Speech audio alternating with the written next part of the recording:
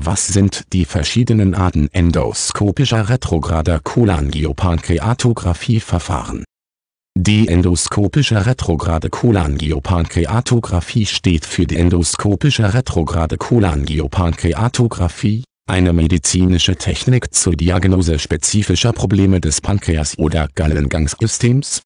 Die verschiedenen Arten der endoskopischen retrograden Cholangiopankreatographie konzentrieren sich auf einen endoskopischen Blick auf die Gallenwege der Bauchspeicheldrüse, der Gallenblase und auf einen Teil des Gallengangsbaums der mit der Leber in Verbindung steht.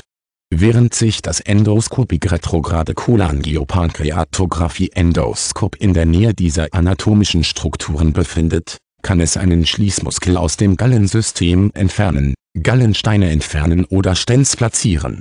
Dieser endoskopischen retrograden Cholangiopankreatographie-Verfahren werden normalerweise unter leichter Anästhesie durchgeführt, wobei sowohl Endoskopie Fluoroskopie als auch Angiografie verwendet werden, um jegliche Blockaden im Gallenbaum zu verfolgen.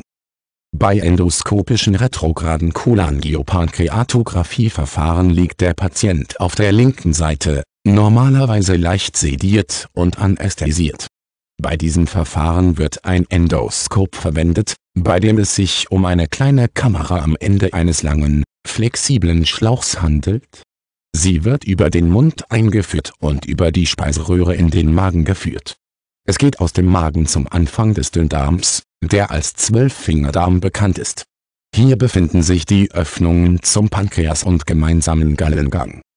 Eines der Markenzeichen der endoskopischen retrograden Cholangiopankreatographie ist die Verwendung der Fluoroskopie.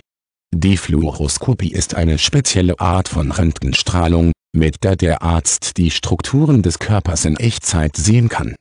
Angiografie wird auch verwendet, um die Gefäße und Kanäle der Gallenblase und der Bauchspeicheldrüse hervorzuheben. Mit diesen Werkzeugen markiert der Arzt den Gallengangsbaum, um festzustellen, ob Blockaden oder Verengungen behoben werden müssen.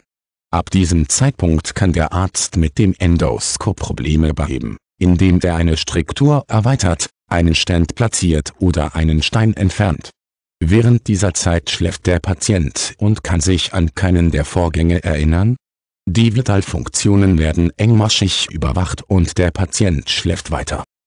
Es gibt einige Risiken bei endoskopischen retrograden Cholangiopankreatographie-Verfahren wie Pankreatitis.